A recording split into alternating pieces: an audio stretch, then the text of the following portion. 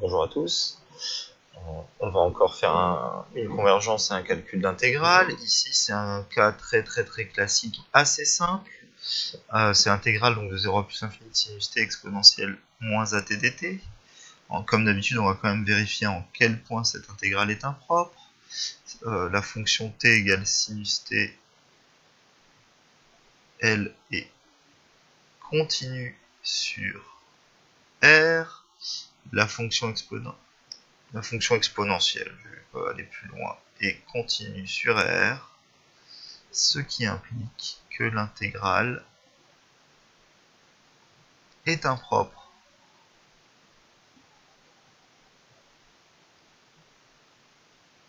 En plus l'infini, excusez-moi pour l'écriture de cochon, c'est un plus l'infini.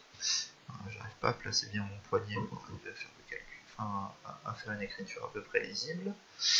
Deuxième point, on va quand même établir la convergence de l'intégrale. Comme je l'ai dit, quand on va faire un calcul, c'est pas forcément obligatoire, mais ici c'est d'une simplicité enfantine.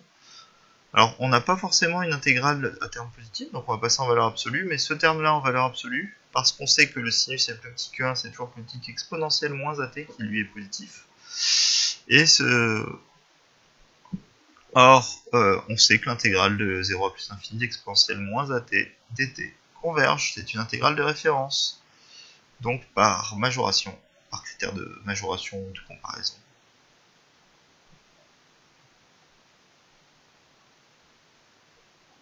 Alors euh, J qui va être l'intégrale de 0 à plus l'infini de sinus t exponentielle moins at dt converge.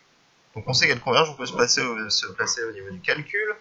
Au niveau du calcul, euh, c'est toujours la même chose, on ne sait pas faire de calcul sur les intégrales impropres, il faut revenir à une intégrale avec des bornes adéquates. Donc ici, puisqu'on n'est que impropre en plus l'infini, on peut se placer sur 0 grand A, l'intégrale de sinus t exponentielle moins at dt. Et ce calcul, c'est un calcul que je vous ai fait faire en début d'année.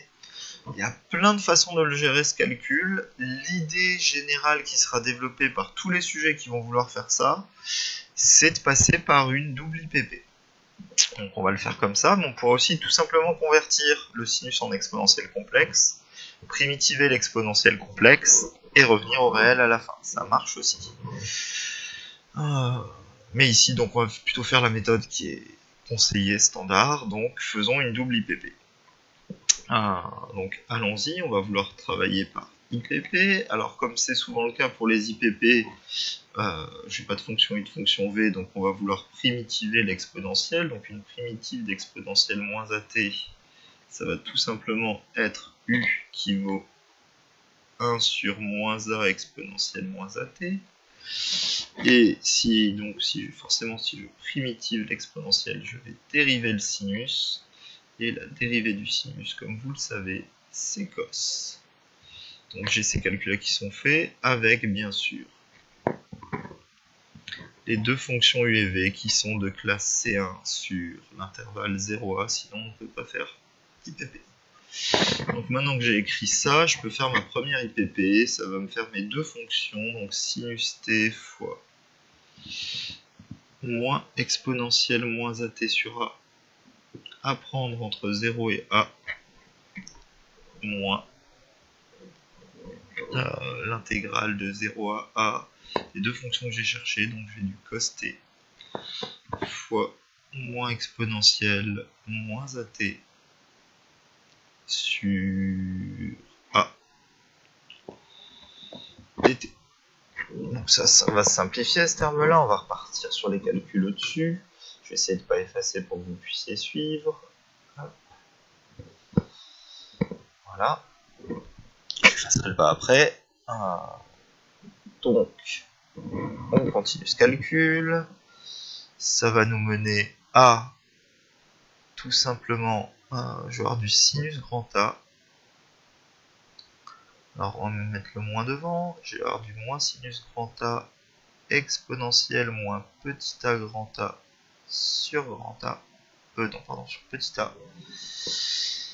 Euh, en 0, le sinus vaut 0, donc je n'apporte aucun terme en 0 à cause de ça. J'ai un moins devant l'intégrale, j'ai un moins ici, donc je vais pouvoir le réécrire simplement, plus l'intégrale de 0 à A.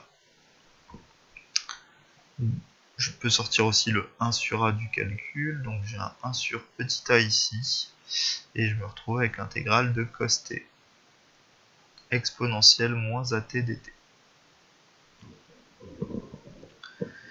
On, peut faire, on peut gérer les choses de différentes façons. Ici, on peut d'abord vouloir parler de la limite en plus l'infini pour avoir une deuxième intégrale impropre, partir sur le calcul de l'intégrale impropre en remettant une borne 1 sur A, ou faire directement la double IPP.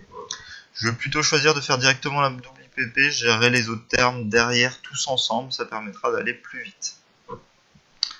Euh, donc repartons sur la deuxième intégrale, de plus ce qu'on va pouvoir écrire de l'intégrale de 0 à a de cos t exponentielle moins at dt, c'est que ça va être égal par IPP. Je ne rejustifie pas mes calculs d'IPP, j'ai déjà fait correctement une fois dans le même exercice.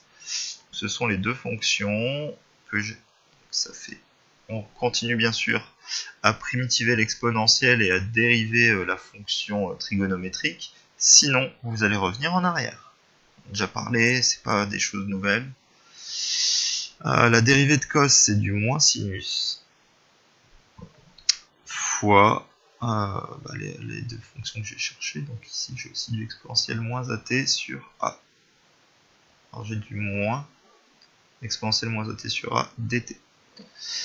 J'ai un peu écrit comme un cochon de l'intégrale. J'étais au bord de ma tablette, je suis désolé. Ah, on va simplifier ce calcul et ce sera très très bien. Ce terme-là, en A, il va me donner du moins exponentiel moins AA cos A sur petit a. En 0, ce terme-là n'est pas nul. Il va me faire en 0 tout simplement du ben, cos de 0, ça fait 1. Donc je vais avoir du plus 1 sur A.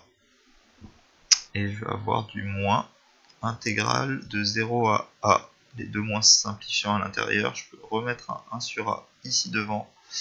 Et je vais me retrouver avec du exponentiel moins at de sinus t dt. Alors vu le membre initial de ça, euh, je pourrais appeler ça, à la limite, je voulais appeler J, mon intégrale impropre totale, mais ce, terme-là manque de gauche ici, je pourrais l'appeler tout simplement euh, JA pour mes calculs, et donc ce que je cherche à calculer c'est J plus l'infini. Ce qu'on vient d'obtenir par ce calcul, c'est tout simplement une petite équation sur JA, faut pas se tromper. Alors faut bien tout recopier proprement et ne pas oublier qu'il y avait un 1 sur A devant le calcul que j'ai mené là. Mais tout simplement, euh, JA, ça va donner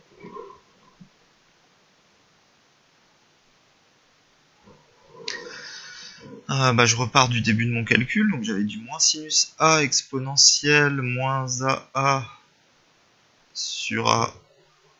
Alors je vais me retrouver avec du plus, je peux mettre 1 sur A partout dans ce calcul en facteur.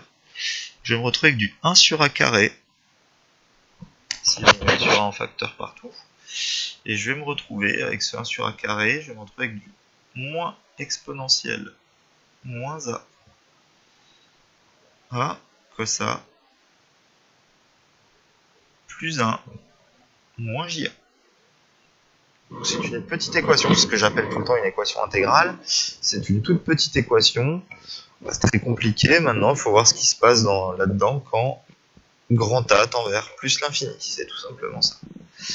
Alors, on va gérer euh, ensemble deux termes quand, grand A tend vers plus l'infini. Dans, la limite, en fait il n'y a que ces deux termes-là qui dépendent de grand A, le troisième terme en 1 sur a, carré euh, ne, tend pas, enfin, ne dépend pas de grand A. Donc on va regarder directement la limite de en valeur absolue, je vais pas m'embêter. Parce qu'en fait, on va faire la limite de 100 plus l'infini, ça ne doit pas vous poser trop de problèmes.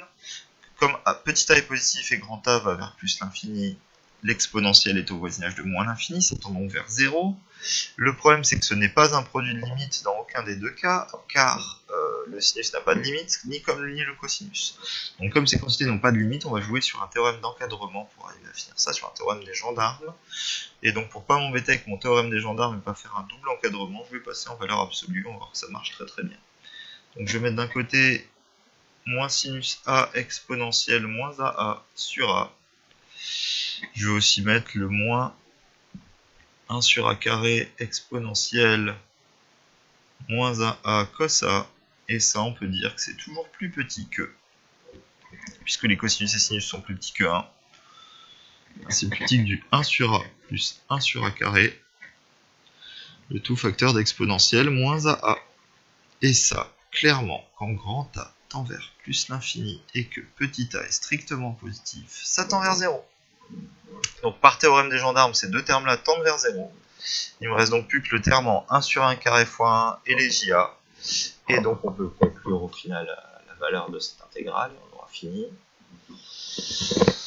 Donc par passage à la limite, quand grand A tend vers plus l'infini, donc j infini, c'est égal à 1 sur a carré moins j infini, ce qui nous donne encore une fois une équation intégrale. Si je fais du plus j infini des deux côtés, qui est une intégrale convergente, ça me fait 2j infini égale 1 sur a carré. Et donc ça, ça me donne du j infini qui est égal à 1 sur 2a carré. Donc si je retraduis avec mes notations un peu tordues, c'est que l'intégrale de 0 à plus l'infini de sinus t exponentielle moins at dt, c'est égal à 1 sur 2a carré. Et voilà encore une fois pour cet exercice.